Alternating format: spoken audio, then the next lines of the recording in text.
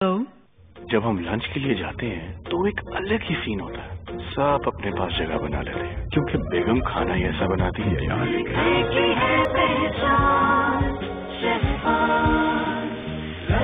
पिछले 40 बरस से हम रहे हैं हर जायके के साथ। आपके खानों की लज्जत का राज।